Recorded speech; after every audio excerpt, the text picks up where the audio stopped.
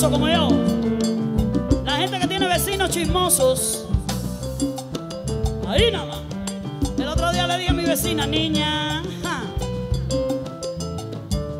tu lengua tiene pimienta, yo no sé para qué tú hablas, yo no sé para qué tú inventas.